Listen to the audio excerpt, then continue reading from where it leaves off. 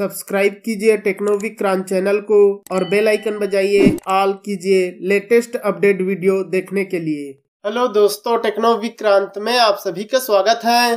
So finally Oppo वालों ने अपने ओप्पो रेनो 8 5G के अंदर color OS 14 based on Android 14 का new stable update rolling out करना स्टार्ट कर दिया है। और इस अपडेट को मैंने अपने डिवाइस के ऊपर अपडेट करके इसका जो टेस्टिंग है पूरी तरह से कंप्लीट कर लिया है। और इस वीडियो में मैं इस अपडेट का कंप्लीट डिटेल बताने वाला हूँ दोस्तों, जिसमें आपको कौन कौन से न्यू फीचर्स देखने को मिलता है, कौन से बग्स फिक्स हुए हैं, साथ ही इसका बैटरी परफॉर्मेंस किस टाइप से देखने को मिलता है, इसका गेम परफॉर्मेंस किस टाइप से देखने को मिलता है। तो यहाँ पर मैं वन बाई वन सारे कुछ बताने वाला हूँ दोस्तों तो इसके लिए वीडियो में लास्ट तक बने रहिएगा। तो चलिए स्टार्ट करते हैं। अब यहाँ पर फीचर्स बक्स वगैरह के बारे में बात करने से पहले, यहाँ पर आप डिवाइस डिटेल चेकआउट कर सकते हैं। यहाँ पर आपको कलर ओएस 14 के साथ ऑफिशियल वर्जन देखने को मिलता है और ओप्पो रेनो 8 5G का model number C P H two three five nine देखने को मिलता है। बात की जाए इस अपडेट के बेसिक इन्फॉर्मेशन की तो यहाँ पर आपको 14.0.0.501 का न्यू अपडेट देखने को मिलता है। और इस अपडेट का जो साइज़ है 1.28 जीबी का है और ये आपको कलर ओएस 14 के साथ ऑफिशियल वर्जन देखने को मिल जाता है। बात की जाए इस अपडेट के बाद इसके एंड्रॉयड सिक्योरिटी पेज की तो यहाँ पर आपको एंड्रॉयड 14 के अपडेट के साथ फिफ्थ मार्च 2024 का latest enhance Android system security देखने को मिलता है इस अपडेट के साथ। इसके अलावा बात की जाए अगले चेंज की तो सिस्टम के अंदर, यहाँ पर सिस्टम में जो भी छोटे मोटे नॉन इशू थे बक्स वगैरह देखने को मिलता था, उसको यहाँ पर फिक्स करके पूरे के पूरे सिस्टम स्टेबिलिटी और उसके सिस्टम परफॉर्मेंस को ऑप्टिमाइज एंड इम्प्रूव किया है, जिससे कि आपको और भी बेटर एक्सपीरियंस के साथ सिस्टम परफॉर्मेंस देखने को मिलता है। साथ ही दोस्तों, यहाँ पर जो डायनामिक कंप्यूटिंग इंजन है, उसको और भी इम्प्रूव और स्टेबल कर दिया है, जिससे कि जो apps opening closing speed, battery life, animation, आपको और भी बेटर एक्सपीरियंस के साथ देखने को मिलता है। इसके अलावा बात की जाए अगले बग फिक्सेस की तो यहाँ पर दोस्तों एप्स क्रेसिंग इश्यू को यहाँ पर फिक्स कर दिया है। पहले दोस्तों कुछ कुछ एप्स जो है काफ़ी ज़्यादा क्रेसिंग इशू देखने को मिलता था। उस एप्स को ओपन करते ही एग्जिट हो जाता था यूज़ ही नहीं कर पाते थे। तो उस प्रॉब्लम को यहाँ पर फिक्स करके बेटर कर दिया है। जिससे कि अब आपको बेटर एक्सपीरियंस के साथ एप्स यूज़ करने को मिलता है और प्रॉपर वे में ओपन रहता है।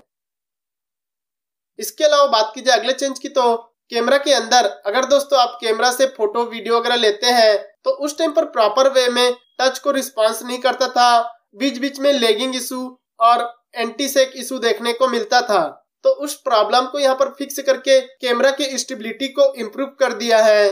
जिससे कि अब आप फ़ोटो वगैरह लेते हैं, वीडियो रिकॉर्डिंग करते हैं, या फिर किसी भी फ़ंक्शन में मूव करते हैं तो आपको प्रॉपर वे में वर्किंग देखने को मिलता है।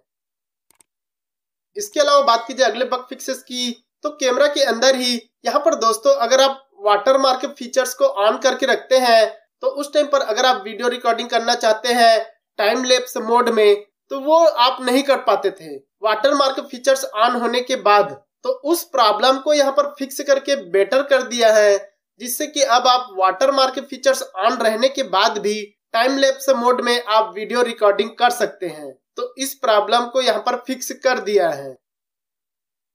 इसके अलावा बात की जाए अगले चेंज की तो वो आपको मिलता है दोस्तों एप्स ओपनिंग क्लोजिंग के टाइम पर। यहाँ पर दोस्तों अगर आप किसी एप्स को ओपन करते थे और उसके बाद उसको क्लोज करते हैं तो उस टाइम पर लेगिंग इशू देखने को मिलता था। प्रॉपरली वर्क नहीं कर पाता था। साथ ही दोस्तों, जब एप्स क्लोज करते थे तो उस टाइम पर जो एप्स का आइकन है, वो डिसपियर हो जाता था शो नहीं होता था। तो उस प्रॉब्लम को यहाँ पर फिक्स करके बेटर कर दिया है। अभी दोस्तों, आप कोई सभी एप्स ओपन करते हैं क्लोज करते हैं तो आपको प्रॉपर वे में वर्किंग देखने को मिलता है, कोई भी लेगिंग इशू देखने को नहीं मिलता है। साथ ही दोस्तों, जो एप्स डिसअपियर हो जाता था क्लोज करने के बाद, उसको भी यहाँ पर फिक्स करके बेटर कर दिया है। तो अब आपको बेटर एप्स ओपनिंग क्लोजिंग और एप्स का आइकन प्रॉपर वे में शो होता है। इसके अलावा बात की जाए अगले बग फिक्सेस की तो एप्स के अंदर ही, यहाँ पर दोस्तों, अगर आप फ़ोटो एप्स या गैलरी एप्स को यूज़ करते हैं तो उस टाइम पर फ़ोटो एप्स में फ़ोटो जो है प्रॉपर वे में डिस्प्ले नहीं होता था। कुछ कुछ सिचुएशन में ब्लैंक देखने को मिलता था। तो उस प्रॉब्लम को भी इस अपडेट के साथ फिक्स करके बेटर कर दिया है, जिससे कि अब आप photo apps gallery apps use करते हैं। तो आपको प्रॉपर वे में फ़ोटो इमेज वगैरह वीडियो वगैरह जो है शो होता है। पहले ये कुछ कुछ सिचुएशन में ब्लैंक देखने को मिल जाता था तो उसको भी यहाँ पर फिक्स करके बेटर कर दिया है। इसके अलावा बात की जाए अगले चेंज की तो यहाँ पर दोस्तों, अगर आप कैमरा से फ़ोटो वगैरह लेते हैं, या फिर नॉर्मल फ़ोटो वगैरह, फ़ोटो एप्स में स्टोर रहता है, उसमें आप एडिट फीचर्स को यूज़ करके इरेज टूल वगैरह को यूज़ करना चाहते हैं तो आप इरेज टूल को यहाँ पर यूज़ ही नहीं कर पाते थे। आई मीन की इरेज टूल जो है ओपन ही नहीं हो पाता था। तो उस प्रॉब्लम को भी इस अपडेट के साथ फिक्स करके बेटर कर दिया है, जिससे कि अब आप कैमरा से फ़ोटो लेकर एडिटिंग करें, या फिर फ़ोटो एप्स से कोई सभी इमेज वगैरह एडिट करते हैं और इरेज टूल वगैरह यूज़ करते हैं तो आपको प्रॉपर एक्सपीरियंस के साथ बेटर रिस्पॉन्स के साथ यहाँ पर इरेज टूल यूज़ करने को मिलता है। इसके अलावा बात की जाए अगले चेंज की तो वो आपको मिलता है दोस्तों सेटिंग के अंदर, नीचे साइड एडिशनल सेटिंग के अंदर स्क्रीन रिकॉर्डिंग के अंदर इंडिकेटर लोकेशन का। यहाँ पर दोस्तों ये दो ऑप्शन न्यू ऐड किया है। पहले दोस्तों ये ऑप्शन नहीं था, लेकिन इस अपडेट के बाद इसको ऐड कर दिया है। अभी दोस्तों आप स्क्रीन रिकॉर्डिंग करते हैं तो आपको दो ऑप्शन देखने को मिलेगा। स्टेटस बार को अगर सिलेक्ट करते हैं और स्क्रीन रिकॉर्डिंग करते हैं तो आपको डायनामिक डॉट या फिर फ्लुएट क्लाउड के रूप में, यहाँ पर स्टेटस बार में आपको ये डायनामिक डॉट दिखाएगा स्क्रीन रिकॉर्डिंग का। और अगर आप फ्लोटिंग विंडो यूज़ करते हैं तो आपको ओल्ड वाला कुछ इस टाइप से फ्लोटिंग विंडो के रूप में छोटा सा आपको स्क्रीन रिकॉर्डिंग का ऑप्शन देखने को मिलेगा। तो यहाँ पर आपको इंडिकेटर लोकेशन का स्टेटस बार और फ्लोटिंग विंडो का ऑप्शन देखने को मिल जाता है। इसके अलावा बात की जाए अगले चेंज की तो वो आपको मिलता है दोस्तों एप्स के अंदर। यहाँ पर दोस्तों, अगर आप वेदर एप्स यूज़ करते हैं तो उसमें जो वेदर का इंफॉर्मेशन है तो वो प्रॉपरली कुछ कुछ सिचुएशन में शो नहीं होता था। तो उस प्रॉब्लम को यहाँ पर फिक्स करके एप्स को इम्प्रूव कर दिया है, जिससे कि अब आपको बेटर वेदर एप्स का डिटेल इंफॉर्मेशन देखने को मिलता है। अब आप वेदर एप्स को यूज़ करते हैं तो आपको बेटर एक्सपीरियंस के साथ यूज़ करने को मिलता है। इसके अलावा बात की जाए अगले चेंज की तो वो आपको मिलता है दोस्तों नेटवर्क के अंदर। यहाँ पर दोस्तों मोबाइल नेटवर्क के कनेक्शन के स्टेबिलिटी और परफॉर्मेंस को इम्प्रूव किया है, जिससे कि जो मोबाइल नेटवर्क कुछ कुछ सिचुएशन में अप डाउन होता था, प्रॉपर वे में कॉल वगैरह कनेक्ट नहीं होता था तो उस प्रॉब्लम को यहाँ पर फिक्स करके बेटर कर दिया है। अब आपको बेटर और स्टेबल नेटवर्क के साथ बेटर मोबाइल नेटवर्क कनेक्शन देखने को मिलता है। इसके अलावा बात की जाए अगले चेंज की तो कम्युनिकेशन के अंदर। यहाँ पर दोस्तों, अगर आप कॉल वगैरह करते हैं और कॉन्फ्रेंस कॉल करते हैं तो उस टाइम पर प्रॉपरली कॉन्फ्रेंस कॉल वर्क नहीं करता था कॉल इंड हो जाता था। तो उस प्रॉब्लम को इस अपडेट के साथ फिक्स करके बेटर कर दिया है। अभी दोस्तों, अगर आप कॉल करते हैं कॉन्फ्रेंस कॉल यूज़ करते हैं तो आपको प्रॉपरली वर्किंग देखने को मिलता है। आप प्रॉपर वे में कॉन्फ्रेंस कॉल यूज़ कर सकते हैं। इसके अलावा बात की जाए अगले बग फिक्सेस की। तो वो आपको मिलता है दोस्तों कम्युनिकेशन के अंदर ही। अगर दोस्तों आप कॉल करते हैं तो अगर आप कॉल फॉरवर्डिंग फीचर्स को यूज़ करते हैं तो वो प्रॉपर वे में वर्क नहीं करता था। तो उस प्रॉब्लम को भी यहाँ पर फिक्स करके बेटर कर दिया है। अभी दोस्तों आप कॉल फॉरवर्डिंग वगैरह करते हैं तो आपको प्रॉपरली यूज़ करने को मिलता है, साथ ही प्रॉपरली वर्किंग देखने को मिलता है। इसके अलावा बात की जाए अगले चेंज या मिसिंग फीचर्स की, वो आपको मिलते हैं दोस्तों सेटिंग के अंदर, नीचे की साइड स्पेशल फीचर्स के अंदर स्मार्ट साइड बार में। यहाँ पर दोस्तों किसी किसी यूज़र का स्मार्ट साइड बार जो है कुछ कुछ सिचुएशन में स्टॉप देखने को मिलता था प्रॉपर वे में वर्क नहीं करता था तो उस प्रॉब्लम को यहाँ पर फिक्स करके बेटर कर दिया है, जिससे कि अब आप smart side bar proper way में यूज़ कर सकते हैं। साथ ही दोस्तों स्मार्ट साइड बार के अंदर ही आपको स्मार्ट फ़ंक्शन करके ऑप्शन देखने को मिलता था, जिसे आप ऑन करते थे तो आप YouTube से वीडियो वगैरह देखते थे तो यहाँ पर आपको बैकग्राउंड स्ट्रीमिंग का फीचर्स देखने को मिलता था, जिससे कि आप YouTube से वीडियो वगैरह बैकग्राउंड में स्ट्रीम कर सकते थे। तो उसको यहाँ पर परमानेंटली रिमूव कर दिया है।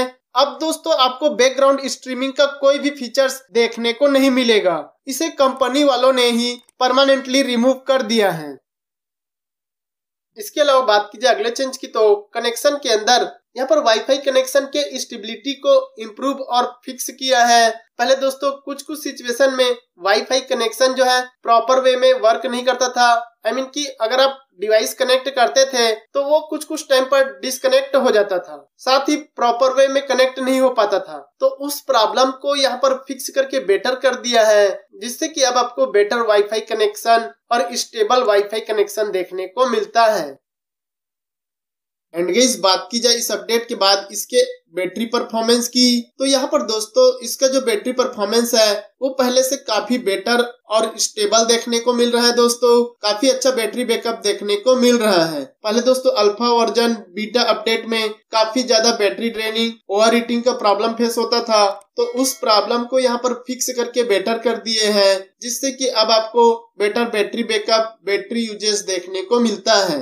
साथ ही दोस्तों, जो ओवर हीटिंग का प्रॉब्लम था, वो भी यहाँ पर काफ़ी हद तक सॉल्व हो चुका है। लेकिन अभी भी थोड़ा थोड़ा ओवर हीटिंग और बैटरी ड्रेनिंग का प्रॉब्लम फेस हो रहा है। लेकिन अल्फ़ा अपडेट और बीटा अपडेट से काफ़ी बेटर परफॉर्मेंस देखने को मिलता है।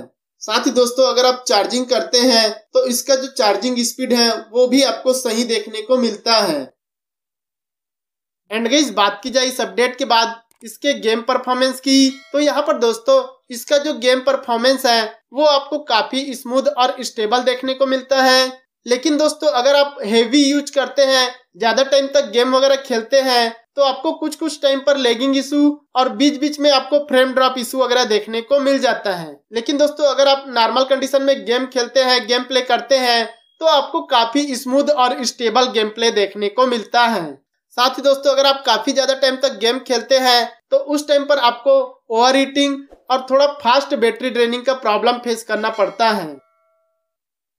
अब दोस्तों, बात की जाए ओप्पो के सिस्टम एप्लीकेशन अपडेट की तो उसके लिए दोस्तों, मैंने वीडियो के डिस्क्रिप्शन में अपने टेलीग्राम चैनल का लिंक जो है ऐड कर दिया है।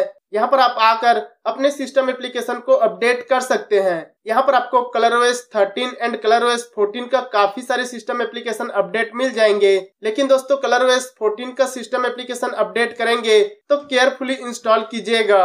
हो सकता है आपको एप्स क्रेसिंग इशू वगैरह देखने को मिल जाए। तो आप अपने रिस्क में केयरफुली इंस्टॉल कीजिएगा। तो ये रहा दोस्तों इस अपडेट का फुल रिव्यू। दोस्तों, ये अपडेट आपको मिला है कि नहीं मिला है, आप मुझे कमेंट करके ज़रूर बताइएगा। तो इतना ही था दोस्तों इस वीडियो में। वीडियो पसंद आया होगा तो लाइक, शेयर, सब्सक्राइब करना ना भूले। मिलते हैं हम नेक्स्ट वीडियो में। तब तक के लिए good bye and take care दोस्तों।